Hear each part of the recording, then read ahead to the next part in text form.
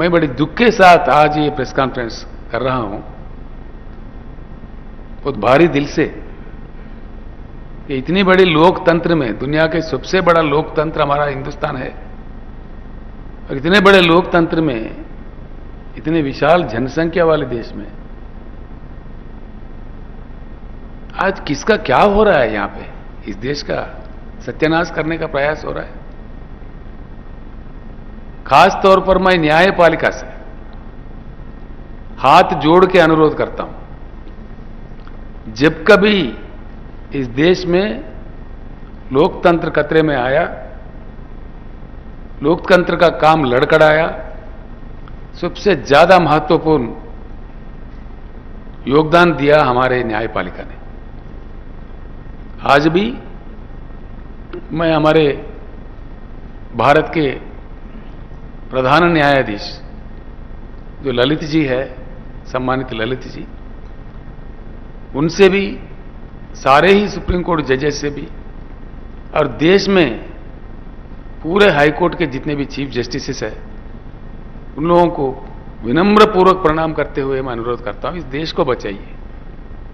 इस देश में लोकतंत्र का रक्षा कीजिए। वरना ये देश बड़ा खतरा में चले जाएगा। इतना गंभीर समस्या हमारे सामने खड़ा हुआ है। आज मैं आपको जो भी बताने जा रहा हूँ, और आज तेलंगाना सरकार के जाँच करने वाले इन्वेस्टिगेशन एजेंसीज जो पुलिस है एसीबी है, कुछ अन्य एजेंसीज है, जो भी उन्होंने इंक्वायरी किया है इन्वेस्टिगेट किया है, ये सारे चीज़ प्रोसिक्यूशन ने आज हाईकोर्ट में दाखिल कर दी। It has been submitted to the high court और जो भी यहाँ सबमिट किए हैं वो सारे चीज़ को मैं सुप्रीम कोर्ट चीफ जस्टिस साहब को भेज रहा हूँ। सुप्रीम कोर्ट के हर जज को भेज रहा हूँ। और सारे ही जितने भी हमारे देश में हाई कोर्ट है उनको भी मैंने भेज दिया है चीफ जस्टिस को। All chief justice of India of all high courts along with the Honorable Chief Justice of India and all the Supreme Court judges, Honorable judges, and also to the Honorable Chief Justices of all the High Courts of this country. CBI, Enforcement Directorate, Central Vigilance Commission, all prominent news agencies of India, like PTI, ANI, कुछ अन्य agencies जो भी है और all prominent media houses print and electronic मैंने भेज देना शुरू कर दिया है, जा रहा है। आपके ऑफिसों में भी पूरा पहुँच रहा होगा या पहुँच गया होगा? पूरे देश में, वो किसी भी भाषा का हो, किसी भी राज्य का हो along with the national dailies and national channels in all the vernacular TV channels and news newspapers I have sent it and I am sending to all the chief ministers of this country and also I am sending to all the party presidents in this country. All party presidents. I have sent it. जा रहा है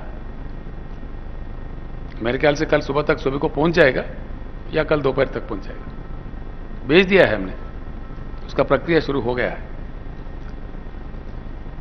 ఎందువల్ల ఇంతమందికి పంపాల్సిన అవసరం ఈ దేశ ప్రజాస్వామ్యంలో భాగస్వాములై పనిచేస్తున్న ప్రతి వ్యక్తి ఈ ఘాతుకాన్ని తెలుసుకోవాలి ఈ దురాగతాలు ఈ ఘాతుకాలు. సందర్భాలు ఉంటాయి చాలా ఉంటాయి చాలా చూసినాం.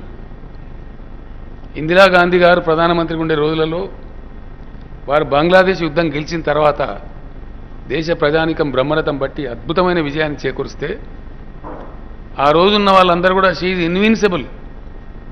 ఆమెను ఎవరేం చేయలేరు ఇంకా. ఆమె ప్రత్యామ్నాయం రాదు ఈ దేశంలో అని భావించే తరుణంలో ఒక చిన్న పొరపాటు వల్ల ఎమర్జెన్సీ విధించడం వల్ల ఏ రకమైన శిక్ష ప్రజలు ఇందిరాగాంధీ గారికి కాంగ్రెస్ పార్టీకి విధించడం మనం అందరం చూసినాం. మన కళ్ళ ముందు జరిగిన చరిత్ర. ఏ విధంగా జయప్రకాష్ నారాయణ గారి మూమెంట్ వచ్చిందో విద్యార్థి లోకం యువలోకం ఏ విధంగా స్పందించి ఆ రోజు కథానాయకులై మొత్తం ప్రజలను నడిపినరో ఉద్యమానికి నాయకత్వం వహించినరో ప్రెస్ కరప్స్ పెట్టాడు. ప్రెస్ ఆ, ప్రెస్ మీద కూడా ఆంక్షలు పెట్టి రాయకుండా చేసి ఎన్ని చేసినా కూడా అన్ని రకాలుగా పోరాటం చేసి దాదాపు సంవత్సరం నరపాటు అనేక మంది లక్షలాది మంది నాయకులను అక్రాస్ ద నేషన్ జైళ్ళలో నిర్బంధించినా కూడా ఆ ఉద్యోగం ఆగ ఆ ఉద్యమం ఆగలే. అనేక మంది నాయకులు మదన్ మియన్ మాలమోయ మాలవీయ గారు రామ్విలాస్ పాస్వాన్ గారు మధు దండావతి గారు అనేక మంది పెద్దలు జైలులో ఉండి గెలిచినారు లక్షల మెజార్టీతో. అంటే ప్రజలు తమ యొక్క అధికారాన్ని తమ ప్రజాస్వామ్యాన్ని ఎవరు భంగం కలిగించాలని చూసినా క్షమించారు ఈ దేశంలో. ఎవరు శాశ్వతం కాదు. ఆ సోయి మరిచి ఆ ఒళ్ళు మరిచి ఈరోజున్న బీజేపీ చేస్తున్న అరాచక కాండ కిరాతకమైన రాజకీయ వ్యవహారం జుగుప్సాకరంగా అసహ్యం వేసే విధంగా. మీరు వింటున్నారు ప్రతిరోజు. స్వయంగా ప్రధానమంత్రి చెప్తారండి బెంగాల్ రాష్ట్రానికి వెళ్ళి దీదీ ఆప్కే పార్టీకే ఎమ్మెల్యే హమారే టచ్ మే హే మేరే టచ్ మే హే చెప్పచ్చున్నానండి భారతదేశంలో ఎప్పుడైనా చెప్పినరా గత చరిత్రలో ఏ ప్రధానమంత్రి అన్నా ఇంకో పార్టీ ఎమ్మెల్యేలు నలభై మంది యాభై మంది నాతో టచ్లో చెప్పంగా విన్నామా ఏకనాథ్ సిండేలను సృష్టిస్తాం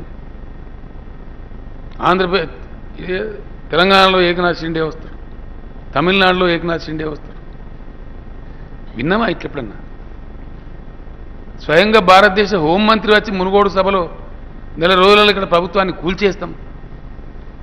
నాకు వేరే రాష్ట్రాలకు వెళ్ళి ఫోన్లు వచ్చినాయి. ఏందండి ఇంత దారుణంగా మాట్లాడతాడు?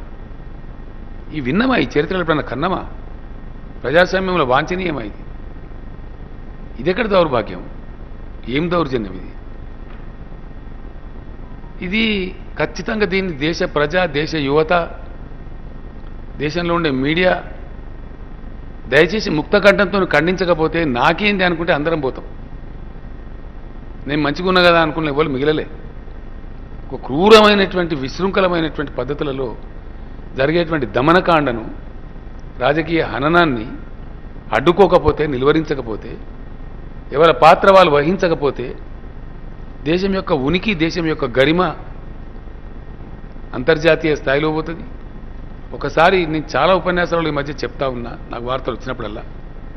ఒకసారి దేశం దెబ్బతిన్నదంటే వంద సంవత్సరాలు పడుతుంది వెనకపోతామని నేను చెప్తా ఉన్నా పదే పదే హెచ్చరిస్తాం మనం మన మునుగోడు బహిరంగ సభలు కూడా చెప్పండి ప్రజలకు అనేక సందర్భాలు చెప్తాం ఏ ఏమరపాటున ఉండద్దు ఎప్పటికప్పుడు పరికించాలి తెలుసుకోవాలి అర్థం చేసుకోవాలి అని కూడా చెప్పుకుంటూ పోతా ఉన్నా. మన రాష్ట్రంలో కూడా మీరు చూస్తున్న మాత్రం టచ్లు ఉన్నారు. జిల్లాల వారి లిస్టు చెప్తారు. ఈ జిల్లాకి ఇంతమంది ఉన్నారు. ఆ అట్లా చెప్పచ్చున్నానండి వాంఛనీయమా ప్రజాస్వామ్యంలో? ధర్మమా? ఇది ఏం ప్రజాస్వామ్యం అసలు? ఏం జరుగుతూ ఉంది ఏ అహంకారానికి ఏ అతి చేతలకు ఇది నిదర్శనం అండి ఇది సహించబడన్నా దేనికోసం సహించబడాలి? ఎవరి కోసం? ఇదేమన్నా జోకా? తమాషనా? ఏం దీని అనుకున్న ఎవరు?